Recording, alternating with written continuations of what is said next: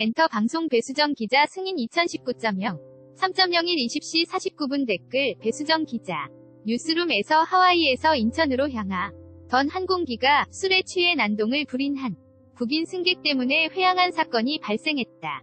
고 전했다. 이를 방송된 JTBC 뉴스룸에서는 하와이안 항공 459 편이 한 국인의 난동으로 회항을 했다고 보도했다. JTBC 뉴스룸 방송 캡처 하와이 현지 언론인 스타 어드버타이저 등에 따르면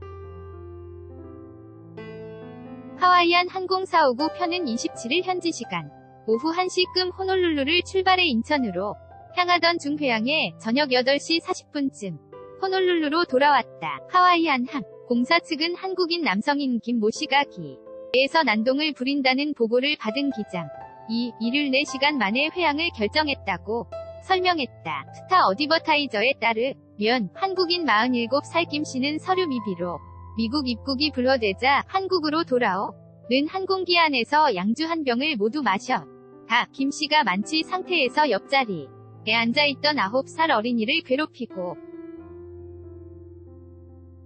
영어와 한국어로 큰 소리를 지르는 등 난 동을 부리자 항공기 승무원들은 일부 승 객들과 함께 김 씨를 제압해 수갑까지 채 온 것을 전해졌다. 항공기가 호놀룰루에 회항한 직후 김 씨는 공항에 대기하고 있던 미 연방수사국 FBI 요원들의 개 체포돼 곧바로 재판에 넘겨졌다고 전해.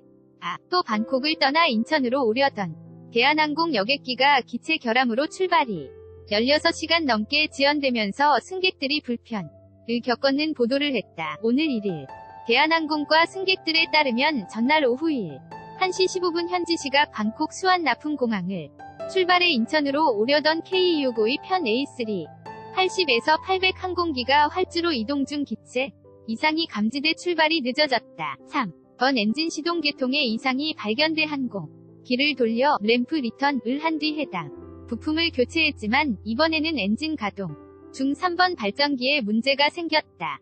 예. 한항공은 정비를 위해 승객들을 모두 내리 개한 뒤 수리의 시간이 걸릴 것으로 판. 반에서 대체기 B777-300을 투입하고 오후 3시 30분 방콕에서 인천으로 출발. 하면서 시청자들에게 놀라움을 줬다.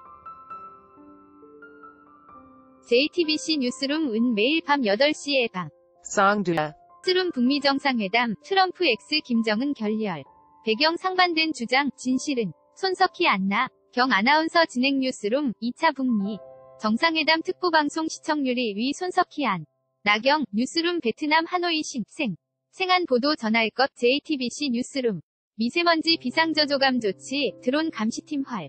용 23일 에도 미세먼지 저감 조치 시행. 계속 JTBC 뉴스룸 이도훈, 한호. 이도착, 김혁철 비건 이틀째, 비핵화 상. 응조치, 위제 협상 손석희 안나경의 스룸, 손석희 배임 혐의 고발 이슈에도 시청률은 비스 JTBC 뉴스룸 고은. 성추행 법원 사실로 판단, 최영미 씨. 배상 책임 없어 JTBC 뉴스룸. 갑작스런 대설주의보, 경기도 눈길 사고 예. 보는커녕 중계도 실패, 혼란 키운 기상. 성 JTBC 뉴스룸 518만원 3인. 방 김진태 김종명 김술래 여야 143명.